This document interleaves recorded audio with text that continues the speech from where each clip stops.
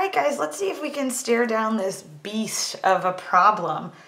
It says the next two questions refer to the following situation. So I'm ultimately going to have a couple of multiple choice questions that are based off of this setup. And as I start to unpack this, the first thing I'm going to try and figure out is what land am I in? Mean land or proportion land? Or another way of answering that question, do I have numerical data or categorical data? And then I'm going to go into how many samples I, do I have? What letter am I using? Those are my typical questions that I'm going to ask myself, and you'll see me make my notes on the margins. All right, so one criticism of reforestation efforts after timber harvesting is that too few of the seedlings survive. An experiment was conducted to assess if mulching the slash, the limbs, roots, small branches, etc., and leaving the mulch on the ground improves the survival rate compared to just leaving the slash on the ground. It is believed that mulching will cause the material to break down sooner and release the nutrients to the seedlings. A total of 500 seedlings were randomly assigned to two treatments, and the two year survival rate was measured. Of the 250 seedlings receiving the mulching treatment, 75 survived. Of the 250 seedlings receiving the control, control treatment, 55 survived. All right, what should my null and my alternate be? Okay, so as I look through this, things that I notice are, I don't see any units in here, right? I see some numbers. I see 75, 250, 250, 55. And and it's got this of the 250 seedlings, right? That sounds like a, a probability to me. Like this is a condition. Of these seedlings, I had 75 successes, right? Of these seedlings, I had 55 successes. And when I start to think about the random sample, right, they were assigned to two groups. One got the mulch, one got the control, right? And what am I keeping track of? I'm keeping track of, of these seedlings, how many survived, right? It looks like survival is my variable, and survival is a categorical variable. It's yes, the seedling survived, or no, it didn't. So as I look through this without the units, without anything about averages, seeing this 75 of 250, 55 of 250, right? Those sound like proportions. And then on top of that, seeing that the, the variable here is whether or not you survived, I can see I'm in proportion land. I also see I have two treatment groups. All right, so I have two different samples. I have the sample that got the mulching treatment and the sample that got the control. And if you haven't heard of mulching before, when they say mulching the slash. It means you're taking everything up. You're cutting up all of the leaves and the small branches and the roots that are right around these seedlings and you're you're just leaving them on the ground so that they'll they'll seep into the ground and hopefully provide um, just a better inhabitable living experience for those seedlings to, to grow and to thrive. So I've got two samples here, or you could say two treatment groups. All right, and we're in proportion land, and, and I don't believe that the survival rate of the mulch group will have any effect on the control group. These are going to be independent, as they always are for proportion land, and I know I'm going to be running a z-test. Now, they got a couple of things. The first thing I want is um, my null and my alternate, and then they want, it looks like a test statistic and a p-value. That seems to be what examples 7 and 8 are doing, and that's great. I, I left room here because I'm actually going to go through this whole problem as if it were a free response, just so we can practice another hypothesis test together. And, and I'll eventually answer these questions, but I'm going to do this like a free response. So I'm going to move this up, all right, and then I'm going to start with step one, all right, where I would define my parameters. So I would say P sub m, and I'm using m here just because they they talked about this this mulch, right? This is the true proportion of mulch seedlings that survive.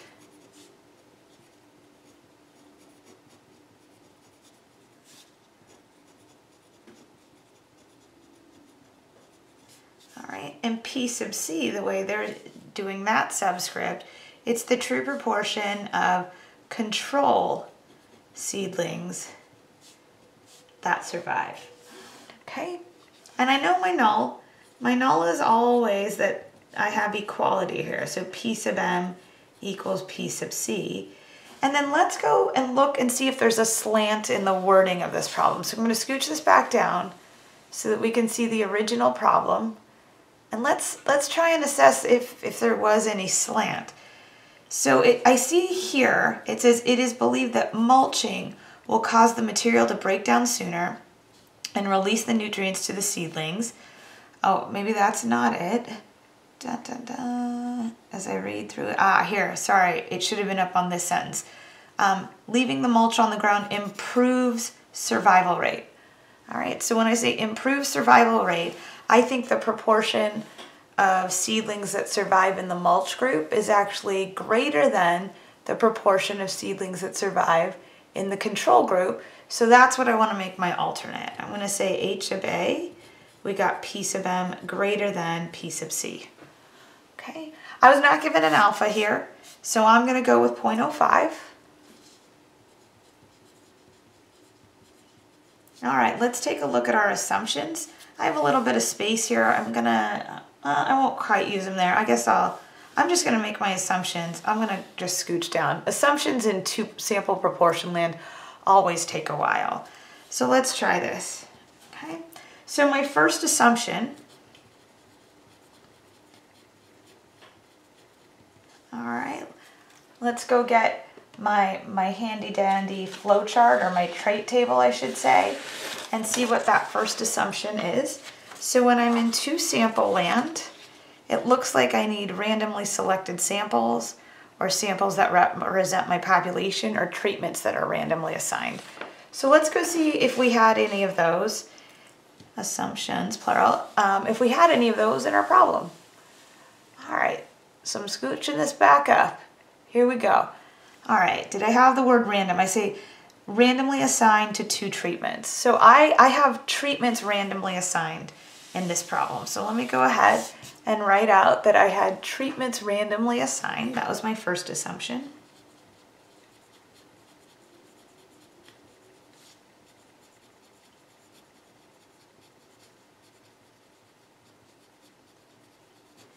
Okay, I'll put a check mark.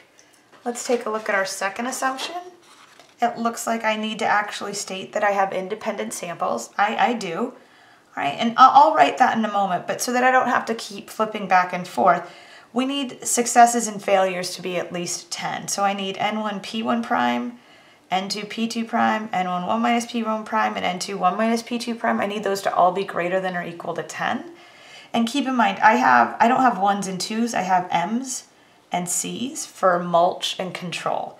So I've got four products that I need to check for. All right, so I'm gonna write independent samples and then I'm gonna start to look at this. All right, so I know that I had independent samples.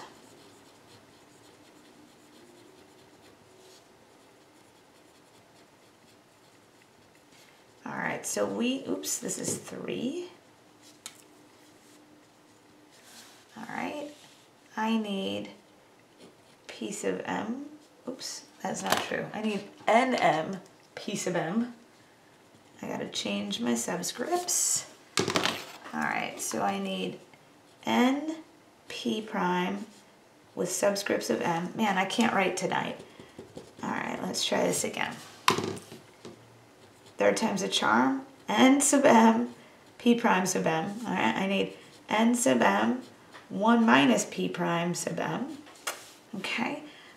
Can we see all this? Yeah, we can. So then I need, that's the mulch group. I need the control group. So I need n sub c, p prime sub c, n sub c, 1 minus p prime sub c. Okay, so I'm going to check all of those in a moment. And now is as good a time as any. Is let's go figure out what our sample proportions are. You can do that whenever you want. This is the time when you really need them in the assumptions. But let's go see, let's get some gut feelings. Do we think that the mulch group is doing better? All right, so let's go get that, those numbers. All right, and maybe that's what I'll put over here. I have some space for that. All right, so let me see. What was the proportion of successes in the mulch group? Well, it looks like the mulch group had 75 out of 250. All right, and let me go get my calculator. Give me a moment, it's just over here. All right, so if we do 75, excuse me, we'll go 75 out of 250. It looks like there's about a 30% success rate if I mulch. Let's see what's in the control group. So the control group was 55 out of 250. And we had about 22%. So it looks like they're off by 8%. Uh, is that significant? We'll find out. I mean, that's a pretty good gap, but I would need to know what the standard deviation was, right? To, to compare, is an 8% gap a really big deviation? But at this point, just through gut feelings, I am tending to think that the alternate might be true. And when I say the alternate, I mean, it, it kind of looks like the proportion of seedlings surviving via mulch is greater than the proportion of seedlings surviving via the control. Before I leave this, this view screen behind, the other thing I do want to get to, I want to get to P sub C, which is not to be confused with P prime, right? So this is the sample proportion from the control group. When I talk about P sub C, that's our combined proportions overall. And that's that other number that we have to get to when we're looking at two sample proportion lands. So what that means is we're going to combine these two samples. So between the two samples, I had 75 successes in the first sample, 55 in the second, and I had both of my sample sizes at 250. So let's see what our overall success rate is between these two samples. So I'm going to do in the numerator 75 plus 55, and I'm going to divide that basically, I don't need parentheses, I will divide that by 500, and I will find out my overall success rate is 26%. And that P sub C should always be a number in between these two. It might not necessarily be exactly halfway through, it is in this case, but that's only because these sample sizes are exactly equal. All right, so we're gonna keep all of those numbers in mind. And I still got to get to my assumptions, right? We're still working on step five.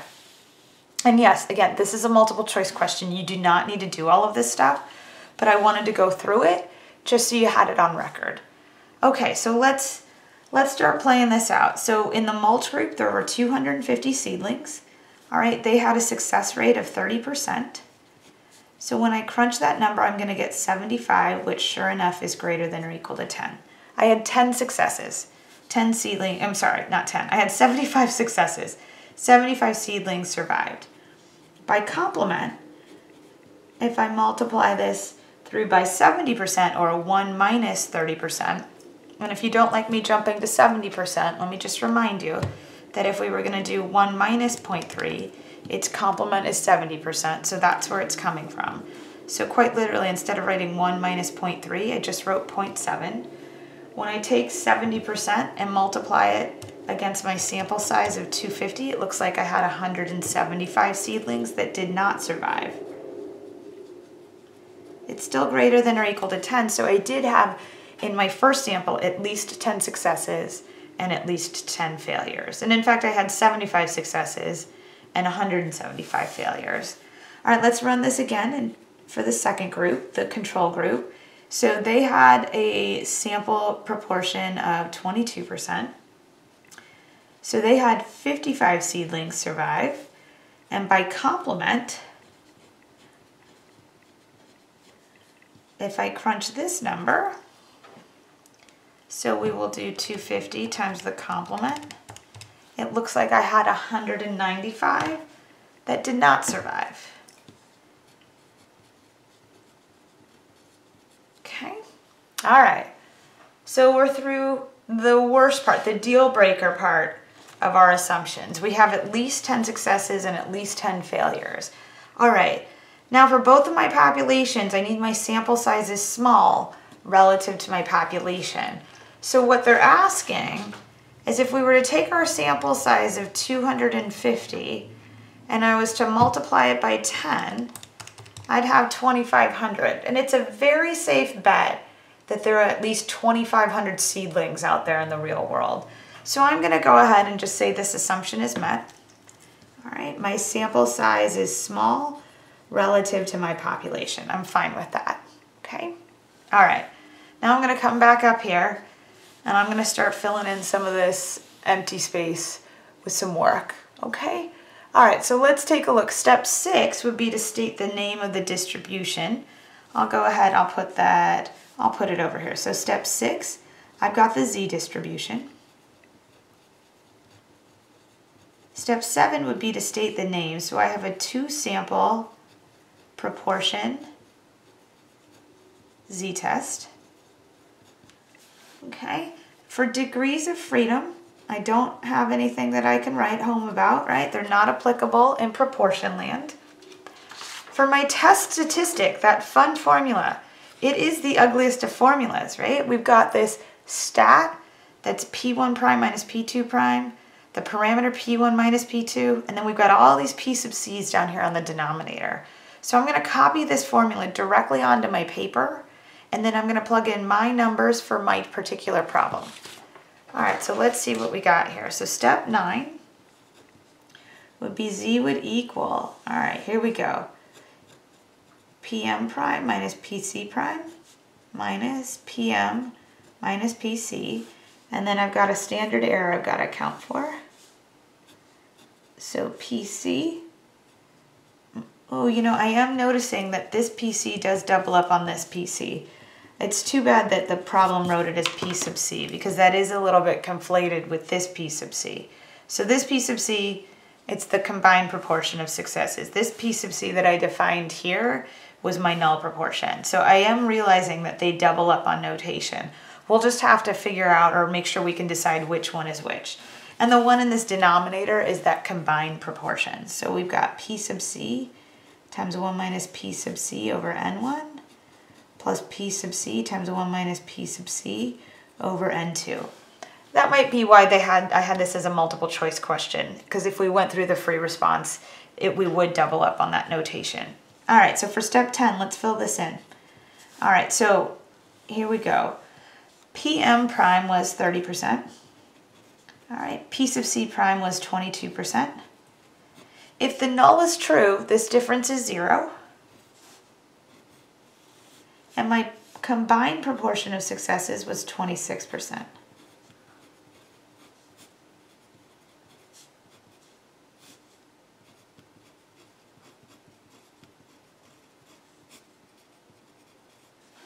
Okay, oh, and that's out of view. Let me move this up.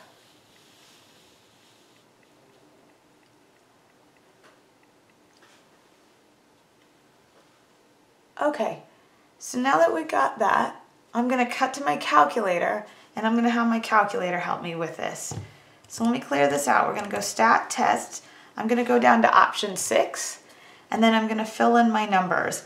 So I had 75 successes out of 250 and then I had 55 successes out of 250.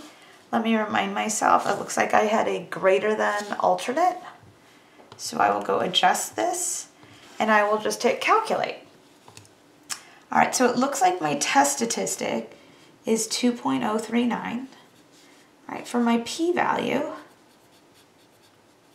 I am getting about 0.021.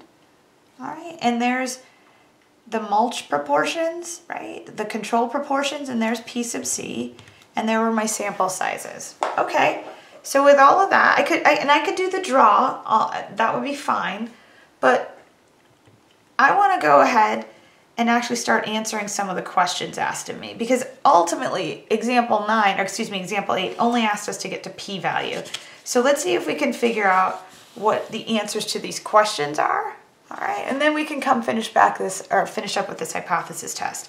All right, so the first question asked, what were the null and alternate? So a couple things that I can can get rid of just out the gate. As soon as you realize you're in proportion land, B is out of the question and D is out of the question.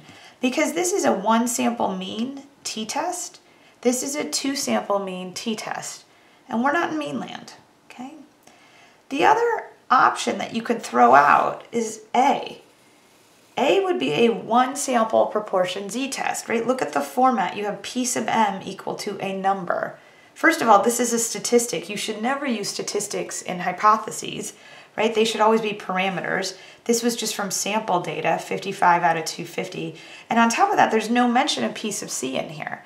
So this is the wrong type of hypothesis test for a two sample z-test or two sample proportion z-test. So here I have that the difference is equal to zero on the null, which is true. And if you're having trouble remembering that, I did write it on this, this trait table, right? You could either say the two proportions are equal to each other, or you could move this proportion through subtraction to the left side of the equation and get P1 minus 2 equals 0.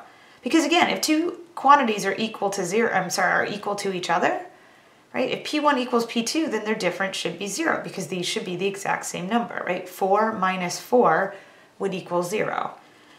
And so I have P1 equaling, or excuse me, P1 minus P2 equaling 0, or in this case, P sub m minus P sub c equaling 0. So then we just need to decide what my sign was for the alternate, and we said it was a greater than, so c is going to be my answer. Okay, great. The next thing asks for the value of the test statistic and the p-value.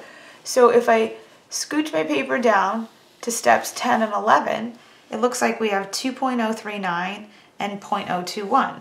So as I look through my options, all right, 2.039 and 0.021.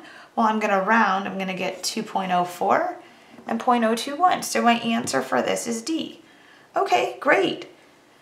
Now just to finish this up, since this is a free response, or it's not actually a free response, but since I'm working it like it was a free response, I would also want to make sure I drew the graph, and I would use my calculator to help me with that. I'd just go down here and hit the draw option, and I should see a little bit, right? It's a right-tailed and my p-value is 2%, so there it is.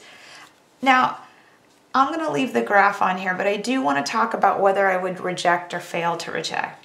So because our p-value, right, which was 2%, is less than our alpha of 5%, we're gonna reject H naught. Oops, so it's not equal to alpha, excuse me. Because our p-value is less than alpha, we reject H naught. Which means we have sufficient evidence that mulching the, on the ground improves the survival rate of these seedlings.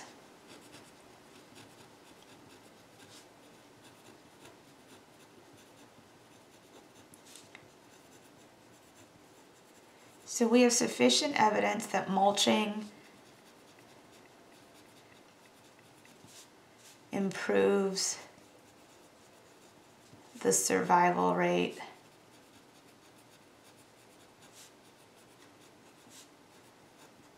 of seedlings. So if you want your plants to grow, start mulching, or at least we have evidence that it would help. Now, if you didn't want to write that exact phrase, you could go back down, and let me get this, see if I can get this all into view. You could go back to your hypotheses and say we have evidence that the true proportion of mulch seedlings that survive is greater than the true proportion of control seedlings that survive. Totally acceptable answer. All right, but with that whole write-up, again, we didn't have to do most of that.